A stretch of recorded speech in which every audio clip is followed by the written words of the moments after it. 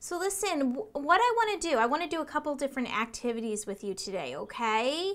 Do you have putty with you? Yes. Oh, good. So we're going to start and we're going to make letters, okay?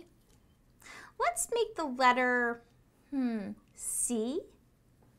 So what we're going to do is we're going to roll our putty on our table. Roll. Remember, see, look, see how I'm rolling it long like this? Roll, roll, roll. Keep rolling, rolling. Mine's like this still. Now I'm going to wrap it around and I'm going to hold it this way so you can see. You see my C, Madison? Yes. Okay, now you try to make your C look just like mine. Okay? Okay. And then let me know because I can't I want to be able to see that. And done my C. Super. That is a perfect C. Wow. Awesome.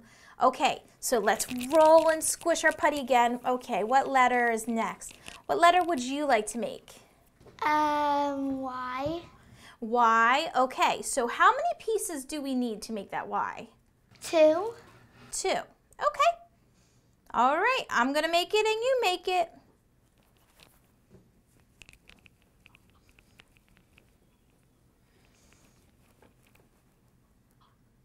Are we making a big Y or a little y?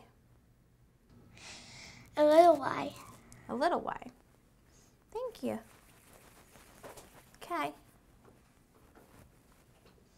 So I made my little y and I'm going to show you mine, okay? Ready? Okay.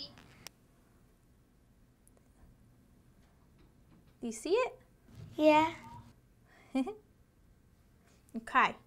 Now show me yours when you're done. I know with putty it gets a little bit tricky when you hold it up. You're doing a great job. I see you moving both hands so well. And down my little Y. Okay, let's see. That is so good. Wow, awesome. Great, Madison.